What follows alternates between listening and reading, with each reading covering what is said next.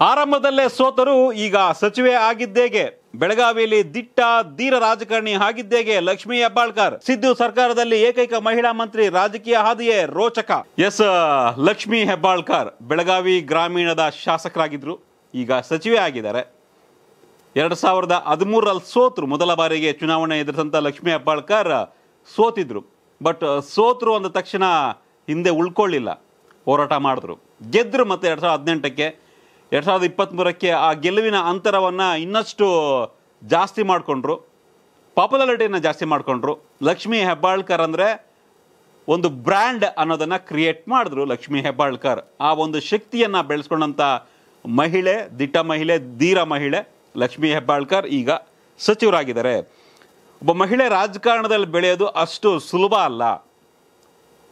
ಮೂವತ್ತ್ಮೂರು ಪರ್ಸೆಂಟ್ ಮೀಸಲಾತಿ ಕೊಡಬೇಕು ಇಲ್ಲ ಫಿಫ್ಟಿ ಪರ್ಸೆಂಟ್ ಮೀಸಲಾತಿ ಕೊಡಬೇಕು, ಇವೆಲ್ಲವೂ ಚರ್ಚೆ ಆಗ್ತಾನೆ ಇರುತ್ತೆ. ಬಟ್ ವಿಧಾನಸಭೆ ಅಥವಾ ಲೋಕಸಭಾ ಚುನಾವಣೆಗೆ ಆ ಮೀಸಲಾತಿ ಜಾರಿ ಆಗಲೇ ಇಲ್ಲ.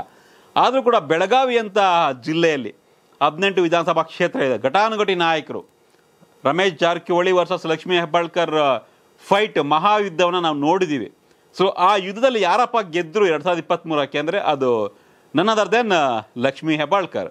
Lakshmi Hebbalkar ಗೆದ್ದರು ಅದಕ್ಕಿಂತ ಮುಂಚೆ ಅವ್ರ ಸಹೋದರನ ಎಂ ಎಲ್ ಸಿ ಆಗಿ ಮಾಡ್ಕೊಂಡಿದ್ರು. ಲಕ್ಷ್ಮಣ್ ಸೌದಿಯನ್ನ ಆಪರೇಷನ್ ಮಾಡಿ ಬಿ ಜೆ ಪಿ ಇಂದ ಕಾಂಗ್ರೆಸ್ಗೆ ಕರೆತಂದು ಕಾಂಗ್ರೆಸ್ ಕೂಡ ಗೆಲ್ಲಿಸಿದ್ರು ಕಾಗವಾಡ, ಅದಾದ ಮೇಲೆ ಕುಡ್ಚಿ, ಇದೆಲ್ಲ ಭಾಗದಲ್ಲೂ ಕೂಡ ಕಾಂಗ್ರೆಸ್ ಗೆಲ್ತು. ಬಿ ಜೆ ಪಿಗಿಂತ ಹೆಚ್ಚು ಸ್ಥಾನವನ್ನು ಬೆಳಗಾವಿಯಲ್ಲಿ ಗೆದ್ದಿದ್ದು ಕಾಂಗ್ರೆಸ್. ಇದಕ್ಕೆ ಕಾರಣಕರ್ತರು ಲಕ್ಷ್ಮೀ ಹೆಬ್ಬಾಳ್ಕರ್ ಅಂದರೆ ತಪ್ಪೇನಿಲ್ಲ. ಸೊ ಅಷ್ಟರ ಮಟ್ಟಿಗೆ ಅವರು ತಮ್ಮ ಬ್ರ್ಯಾಂಡನ್ನು ಉಳಿಸ್ಕೊಂಡ್ರು. ಸೊ ಲಕ್ಷ್ಮೀ ಹೆಬ್ಬಾಳ್ಕರ್ ಸಹೋದರ ಚನ್ರಾಜ್ ಹಟ್ಟಿಹೊಳಿ ಕೂಡ ಎಂ ಎಲ್ ಸಿ ಆಗಿದ್ದಾರೆ. ಸೊ ಮೂಲತಃ ಉದ್ಯಮಿಗಳಿವರು ಇವರ ಪತಿ ರವೀಂದ್ರ ಹೆಬ್ಬಾಳ್ಕರ್ ಉದ್ಯಮಿಯಾಗಿದ್ದಾರೆ. ಸೊ ಇವರು ರಾಜಕಾರಣದಲ್ಲಿ ಪೂರ್ಣ ಪ್ರಮಾಣದ ತೊಡಗಿಸ್ಕೊಂಡು ಇವತ್ತು ಒಂದು ನನ್ನ ಸ್ನೇಹಿತರೆಲ್ಲ ಹೇಳ್ತಿದ್ರು, ಮುಂದಿನ ದಿನಗಳಲ್ಲಿ ಹಿಂಗೆ ಆದರೆ ಮುಖ್ಯಮಂತ್ರಿ ಕೂಡ ಆಗುವಂಥ ಕೆಪಾಸಿಟಿ ಲಕ್ಷ್ಮೀ ಹೆಬ್ಬಾಳ್ಕರ್ಗೆ ಇದೆ ಅಂತ. ಸಾವಿರದ ಒಂಬೈನೂರ ತೊಂಬತ್ತ ಎಂಟರಲ್ಲಿ ಇವರು ಖಾನಾಪುರದಲ್ಲಿ ಕಾಂಗ್ರೆಸ್ ಪಕ್ಷದ ಸಾಮಾನ್ಯ ಕಾರ್ಯಕರ್ತೆಯಾಗಿ ತಮ್ಮ ಕಾಂಗ್ರೆಸ್ ಇಂದ ಜೀವನವನ್ನು, ರಾಜಕೀಯ ಜೀವನವನ್ನು ಆರಂಭಿಸಿದರು. ಎರಡು ಸಾವಿರದ ಹನ್ನೊಂದರಲ್ಲಿ ಹನ್ನೊಂದರಿಂದ ಎರಡು ಸಾವಿರದ ಹದಿನಾಲ್ಕರವರೆಗೆ. ಬೆಳಗಾವಿ ಕಾಂಗ್ರೆಸ್ ಗ್ರಾಮಾಂತರ ಕಾಂಗ್ರೆಸ್ನ ಜಿಲ್ಲಾಧ್ಯಕ್ಷೆ ಆಗಿದ್ದರು ಅದೇ ಟೈಮಲ್ಲಿ ಇವರು ಎರಡು ಸಾವಿರದ ಹದಿಮೂರಲ್ಲಿ ಚುನಾವಣೆಗೆ ಸ್ಪರ್ಧೆ ಮಾಡಿದರು, ಸೋತಿದ್ರು. ಬಟ್ ಆರಂಭದಲ್ಲಿ ಸೋಲನ್ನು ಒಂದು ರೀತಿ ಸೋಲನ್ನೇ ಗೆಲುವಿನ ಸೋಪಾನವಾಗಿ ಮಾಡಿಕೊಂಡು ಮುಂದೆ ಇವರು ದೊಡ್ಡ ಮಟ್ಟದಲ್ಲಿ ಬೆಳಿಬೇಕು ಅನ್ನೋ ಕಾರಣಕ್ಕಾಗಿ ಮತ್ತೆ ಎರಡು ಸಾವಿರದ ಹದಿಮೂರಲ್ಲಿ ಸೋತರು ವಿಧಾನಸಭೆ. ಎರಡು ಸಾವಿರದ ಹದಿನಾಲ್ಕರಲ್ಲಿ ಮತ್ತೆ ಲೋಕಸಭಾಗೆ ಕಾಂಗ್ರೆಸ್ ಅಭ್ಯರ್ಥಿ ಆದರು ಎರಡು ಸಾವಿರದ ಹದಿನಾಲ್ಕರಲ್ಲೂ ಕೂಡ ಸೋತರು.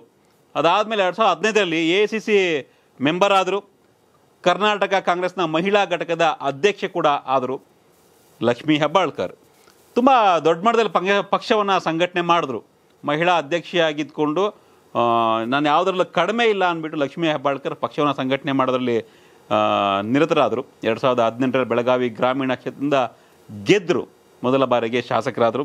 ಅದೇ ರೀತಿ ಅಲ್ಲಿಂದಲೂ ಕೂಡ ತುಂಬ ಆ್ಯಕ್ಟಿವ್ ಆಗಿದ್ದರು ಯಾವತ್ತೂ ಕೂಡ ಬರೀ ಶಾಸಕಿಯಾಗಿ ಲಕ್ಷ್ಮೀ ಹೆಬ್ಬಾಳ್ಕರ್ ಉಳ್ಕೊಳ್ಳಿಲ್ಲ. ತುಂಬ ಆ್ಯಕ್ಟಿವ್ ಪಾಲಿಟಿಕ್ಸಲ್ಲಿ ತುಂಬ ಆ್ಯಕ್ಟಿವ್ ಆಗಿದ್ದರು ಕಂಪೇರ್ ಟು ಬೇರೆ ಬೇರೆ ರಾಜಕಾರಣಿಗಳಿಗೆ ಹೋಲಿಕೆ ಮಾಡಿದ್ರೆ ಎರಡು ಸಾವಿರದ ಇಪ್ಪತ್ತ್ಮೂರಲ್ಲೂ ಕೂಡ ಗೆದ್ದು ಬೀಗಿ ಈಗ ಸಚಿವರಾಗಿದ್ದಾರೆ. ಸಿದ್ದರಾಮಯ್ಯ ಅವರ ಸಂಪುಟದಲ್ಲಿ ಇರ್ತಕ್ಕಂಥ ಏಕೈಕ ಮಹಿಳಾ ಸಚಿವೆ ಅಂದರೆ ಅದು ಲಕ್ಷ್ಮೀ ಹೆಬ್ಬಾಳ್ಕರ್.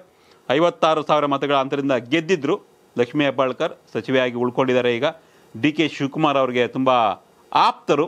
ಅವರ ಒಂದು ರೀತಿ ರಾಜಕಾರಣದಲ್ಲಿ ಗುರು ಅಂತ ಹೇಳ್ಬೋದೇನೋ ಬೇರೆ ಏನೇನೋ ಹೇಳ್ಬೋದು, ಬೇರೆಯವರು, ಬೇರೆ ಗುರುಗಳು ಅಂತ ಹೇಳ್ಬೋದು ಬಟ್ ಅವ್ರಿಗೆ ರಾಜಕೀಯದಲ್ಲಿ ಇಷ್ಟೊಂದು ಬೆಳೆಯೋದಕ್ಕೆ ಅವಕಾಶ ಮಾಡಿಕೊಟ್ಟಿದ್ದು ಡಿ ಕೆ ಶಿವಕುಮಾರ್ ಅನ್ನೋದ್ರಲ್ಲಿ ನೋ ಡೌಟ್ ಒಟ್ಟಿನಲ್ಲಿ ಬೆಳಗಾವಿ ಅಂತ ರಾಜಕಾರಣದಲ್ಲಿ ಕರ್ನಾಟಕದ ರಾಜಕೀಯ ಪರಿಸ್ಥಿತಿಯಲ್ಲಿ ಲಕ್ಷ್ಮೀ ಹೆಬ್ಬಾಳ್ಕರ್ ನಿಜಕ್ಕೂ ಕೂಡ ಬೆಳೆದ ಪರಿ ತುಂಬ ಒಂದು ರೀತಿ ಮಾದರಿ, ರೋಚಕ ರಾಜಕೀಯ ಹಾದಿಯವ್ರದ್ದು ಲಿಂಗಾಯತ್ ಸಮುದಾಯದ ನಾಯಕಿಯಾಗಿ ಕೂಡ ಬೆಳೀತಾರೆ ಅನ್ನೋ ಲೆಕ್ಕಾಚಾರ ಇದೆ. ನೋಡೋಣ ನಿಮ್ಮ ಪ್ರಕಾರ ಲಕ್ಷ್ಮೀ ಹೆಬ್ಬಾಳ್ಕರ್ ಮುಂದಿನ ದಿನಗಳಲ್ಲಿ ಕರ್ನಾಟಕದ ಮುಖ್ಯಮಂತ್ರಿ ಆಗ್ತಾರಾ? ಕಮೆಂಟ್ ಮಾಡಿ ತಿಳಿಸಿ.